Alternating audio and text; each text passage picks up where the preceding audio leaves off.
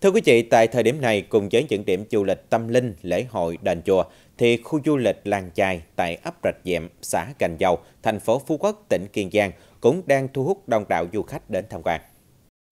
Khu du lịch Làng Chài ấp Rạch Vẹm, xã Gành Dầu nằm ở phía bắc đảo Ngọc Phú Quốc. Nơi đây còn hoang sơ, được thiên nhiên ưu đãi với cảnh quan tươi đẹp. Du khách đến tham quan khu du lịch Làng Chài được dẫn ra các nhà bè bằng phương tiện xuồng máy, Đến đây, du khách được hòa mình vào cảnh vật thiên nhiên và tạo cảm giác tuyệt vời, kỳ lạ đến khó quên. Em thấy à, cảnh quan đây rất là thơ mộng. Ở dưới thì à, có biển, ở xa thì có cát trắng này, có núi. Đấy, còn à, đồ ăn ở đây thì em thấy rất là tươi ngon. Nhân viên thì cởi mở thân thiện và cũng hướng dẫn bọn em cách ăn đồ hải sản rất là nhiệt tình vì có những món là bọn em cũng chưa bao giờ được thưởng thức.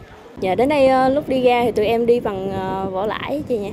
Dạ đi ờ, ra đây có người ờ, người ta đón của mình ở trong ờ, bãi giữ xe xong rồi người ta hướng dẫn mình tận tình ra đến, đến tận đây luôn. Thì ở đây thì nó vừa gần gũi nó vừa lạ lẫm. Và ra đây là cảm thấy là hưởng gió trời rất là tươi mát. Vòng vòng thì khung cảnh vừa có nước mà vừa có bãi cát rồi vừa có núi nữa. Và giá cả thì cũng kinh tế cho tụi mình. Khu du lịch làng trại ấp Rạch Vẹm, xã Gành Dầu hiện có trên 40 nhà bè do người dân địa phương nuôi cá lồng bè kết hợp với làm dịch vụ du lịch. Đến đây, du khách được trải nghiệm câu cá, được nướng cá và tận hưởng thành quả của mình vừa câu được. Vào thời điểm này, khu du lịch làng chài tại ấp Rạch Vẹm, xã Gành Dầu có nhiều du khách trong và ngoài nước đến tham quan.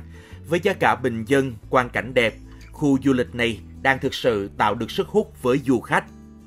Tới đây thì em à, được trải nghiệm à, như câu cá, rồi à, khi câu cá lên thì tụi em còn được nướng cá ngay tại chỗ của mình nữa thì à, cảm thấy rất là thú vị, cảm thấy rất là vui à, khi được à, trải nghiệm ở khu du lịch làng chài như thế này. Bên cạnh ưu thế được thiên nhiên ưu đãi, có quang cảnh đẹp, để tiếp tục phát huy tiềm năng, lợi thế làm du lịch tại địa phương, trong thời gian tới, người dân khu du lịch làng chài thuộc ấp rạch vẹm, xã gành dầu cũng cần quan tâm hơn nữa đến việc bảo vệ môi trường. Có như vậy thì khu du lịch này mới thực sự phát triển bền vững, góp phần vào sự phát triển kinh tế tại địa phương.